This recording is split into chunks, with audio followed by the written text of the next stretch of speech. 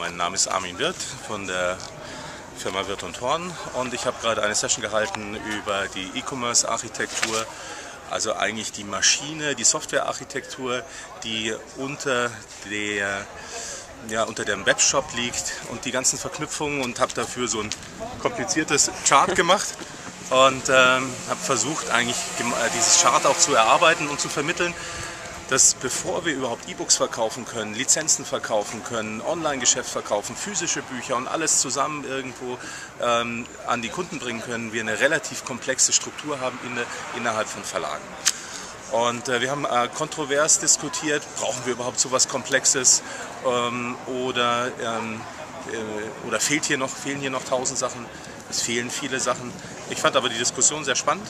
Ähm, ja, und äh, ich denke, das meiste sieht man dann in dem Chart.